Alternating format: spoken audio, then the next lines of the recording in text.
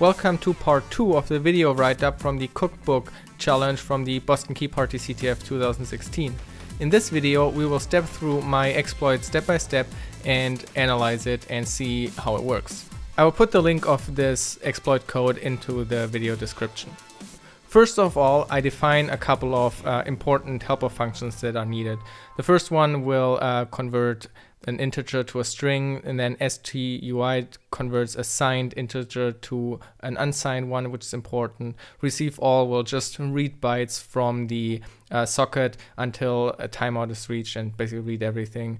I use send to send a, a string over the socket and then I also specify arguments that I can specify to either I connect to my local machine and uh, test it there, or I connect to the remote service of the challenge.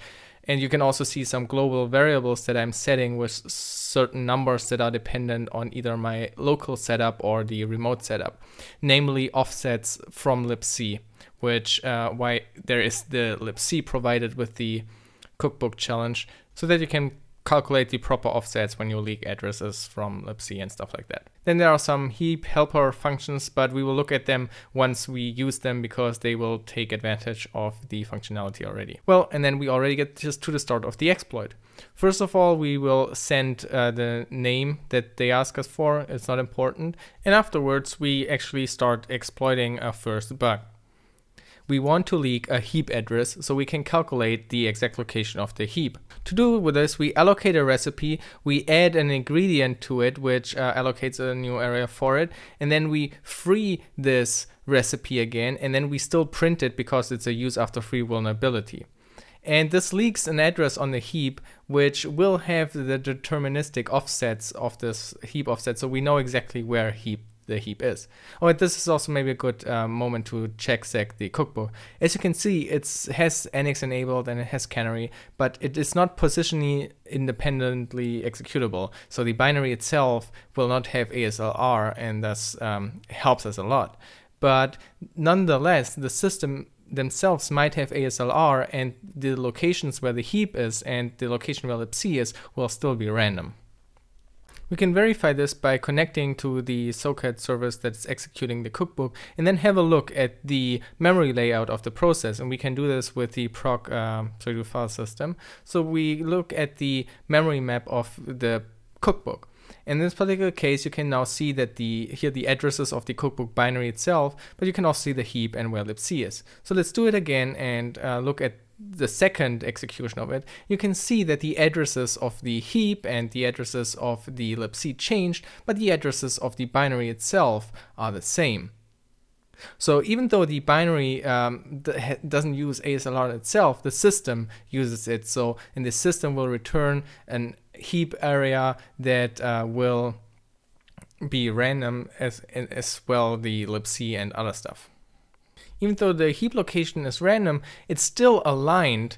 And if we malloc, like for example, if we malloc five items, the offset of those five items will always be the same. So when we can leak an address of the fifth item, for example, we can just subtract off the, the offset for all those five and get the base address of the heap. And that's basically what we want to do. We want to leak one heap address, which then we know exactly where the heap will be. So let's do exactly what my exploit is doing. First we go into the create recipe menu, then we press N for create a new recipe which will allocate a new recipe on the heap, then we will add an ingredient to it and we will add basil to it. And you know the amount doesn't matter how many we, we add to it, but we can specify a number that we can see it in memory.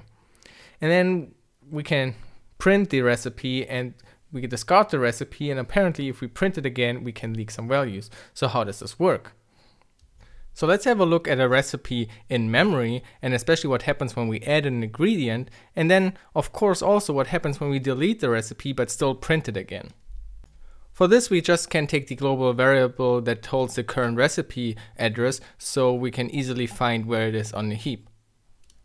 At the start, obviously, there is no recipe, so it's zero. So let's continue and add a new recipe. This will allocate a new recipe on the heap and should set the global current recipe um, address. Okay, so apparently at this location we have now a recipe. Doesn't look like much because at the start it's all zero. We haven't filled the recipe with data yet. And as a next step, we add an ingredient to this recipe. In this case, I add just basil, which is one of the standard um, ingredients already included. And we can specify how many. The number and, our, and which ingredient doesn't matter, but we can choose numbers so we can uh, find them and easily recognize them again in memory. At the start of the recipe, there are now two new values, and they look like heap addresses. So what are they pointing to? The first address seemed to point to somewhere where there is another pointer. So let's see where this is pointing to. And this looks like one of the ingredients, actually the basil ingredient. If you just print this address now, uh, the, the, strings at this area, uh, you should notice that at offset 8 there starts the string of the basil and you can see it when you uh, print it as a string. And the other two values before it are the calories and the price. So the first pointer here is pointing to something else, which then has a pointer to the ingredient. And obviously, if you reverse engineer and add multiple uh, ingredients, you will notice that the first pointer in the recipe will point to the start of a linked list. And the linked list will have two elements. It, the first one is the ingredient, and the second element, which is here zero, is pointing to the next entry in this ingredient list. So when you add a new ingredient to a recipe, it will follow this linked list. At the moment, it's only one, um, one ingredient in this list until it doesn't find a next ingredient, in this case zero. So if we would add another one at the location where there's a zero, we would get the address of the next ingredient entry after that one. The second pointer is very similar. It's also a linked list, but this linked list contains the amount of this particular ingredient. In this case, we I entered for 142 as the amount of basil. And if we would add another ingredient, like the previous linked list, we would get instead of the zeros uh, to the right of it, it would point to the next um, amount of ingredient entry, which will then also have an amount and again a next pointer, which is either zero or pointing to the next entry. Now we basically know how printing the current recipe works because as you can see it will display the name as well as the cost, the calories and the amount of the ingredient that we have entered and this 16706 is just hex 4142 which we have entered. And so now you know that when you print it, it simply follows those pointers. So for example, for the amount, it follows the amount pointer in this linked list and the first entry and will print the first entry corresponding to the first ingredient in the other list. And this amount entry obviously has a second value zero, so there is no next ingredient at the end of the list, so it just stops there printing. The next step will be discarding this recipe, which will free the current recipe we are working on. But it doesn't reset the global recipe pointer that we are currently working on. So we can discard the recipe and still work with it. For example, we can still print the current recipe. Okay, now we have discarded it and now we can look at it in memory and we see that the two addresses that were previously pointing to the linked list are now different. Well, they, they are pointing to some, something weird. So this goes into how the heap is structured. And when you print uh, the this location minus four, you get the byte, uh, the four bytes just before this um, this basically the start of your data, and that is actually heap metadata. This tells you how big this chunk is. And the two weird values are actually the forward and backward pointer uh, for this information which blocks are free and which blocks are still in use. And when we look at what they are pointing to, they point to the same location. This is actually another heap metadata storage somewhere else, not in this heap area, which basically tells you, in this case, it's telling you where the last block of the heap is, basically where the free data starts, which is available again for allocating new data. Now imagine what would happen if you would try to print this current recipe. It would try to follow those pointers and interpret them either as amount or as the, um, an ingredient. And in this case, if we print this now, you see that there are those weird values for the amount of the first not really existing um, ingredient. And the amount of this fake ingredient is obviously the value that was stored at the location where this um, heap metadata was pointing to. In this case, that is an address from the heap. It's actually pointing to the top chunk of the heap, basically where the um, completely free data starts where you could allocate more. So this is an address on the heap that we can leak and and this defeats ASLR of the heap. Because when we print this now, we can then uh, just simply parse the output that we get, and that is what is happening here, to get the leaked heap address. So let's look at this more closely. With infoproc mappings, we get the mapped memory for this process and we know where the heap is. So we know that this address is the heap. And we know this is the address that we leaked. So now we can calculate the offset between those two. So the leaked address will be hex 16D8 away from the start of the heap. And thus we defeat ASLR of the heap and now we know exactly where the heap is. After that I just remove the remaining ingredients because we don't need them. It's not necessary for the exploit particular, but you can remove them now because otherwise the offsets on the heap will not be correct anymore. So I, in my case, I just removed them because I didn't want to uh, have them in the ingredients list when I'm dealing with the next bug. So let's look at the first step of the exploit. It apparently leaked the heap address 09A066D8 and we do it again, we get another address, and you can see always the offset at the end, the 68, is always the same. That's pretty cool. The next step of the exploit is we want to leak uh, a value from the global offset table, namely printf, so we can calculate off from if its offset where libc will be loaded, thus defeating ASLR for libc.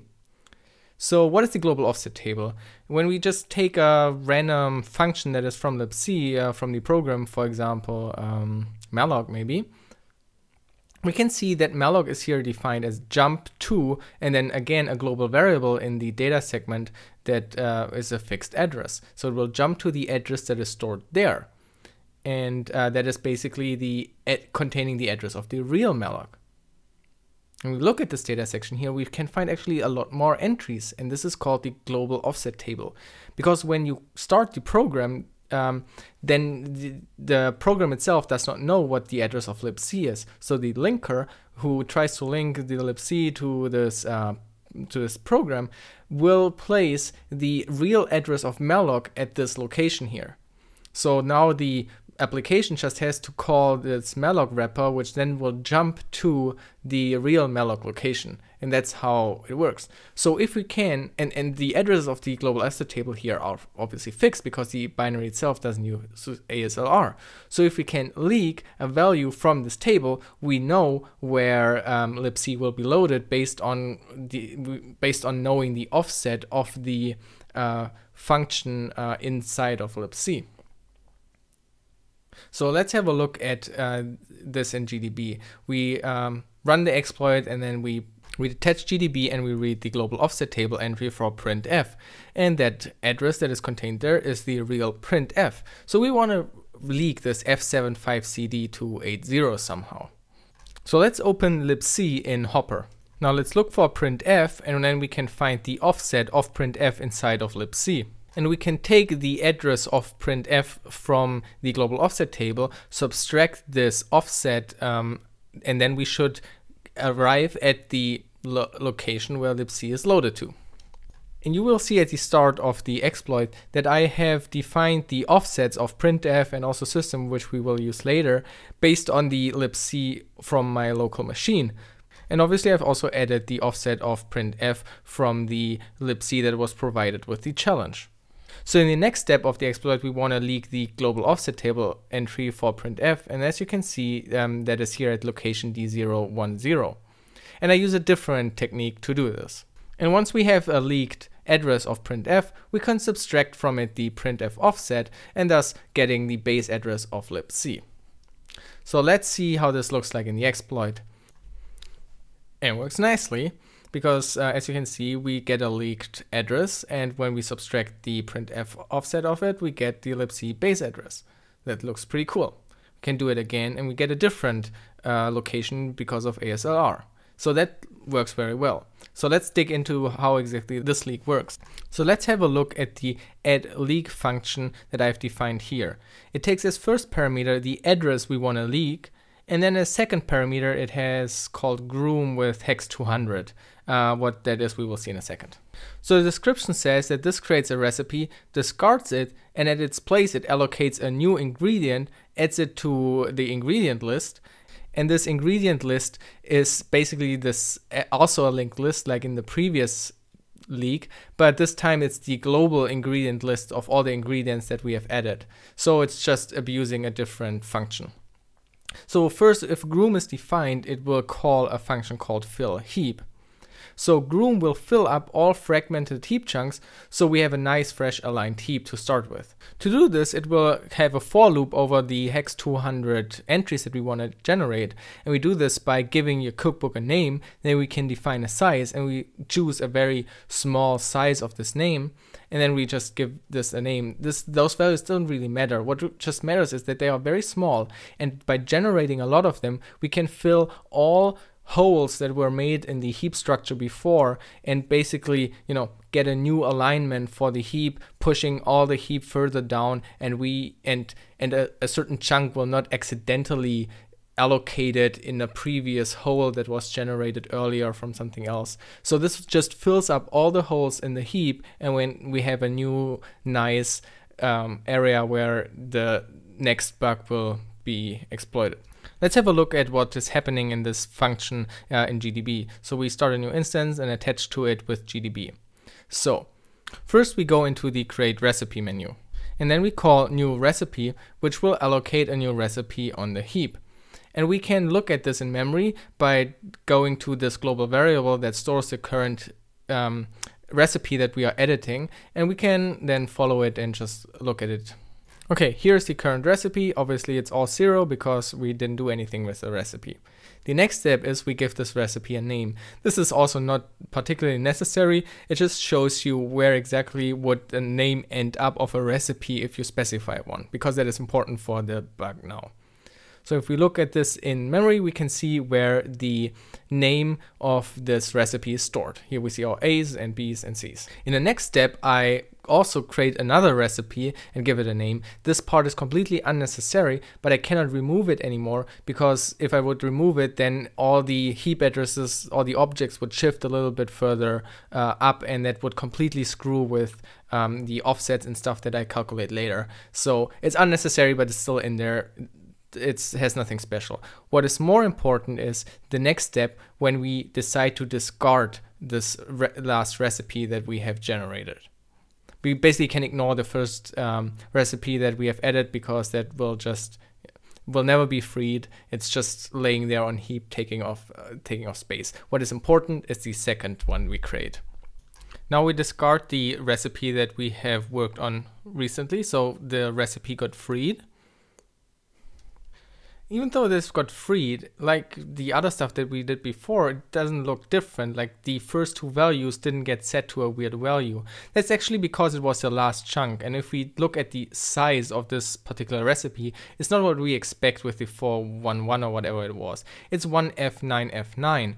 And that is called the wilderness because this is now the end of the heap. We are literally, after that, there is no object allocated on it anymore. From here on, everything is just free heap. And the indication that we see this wilderness value there shows that this particular recipe got freed.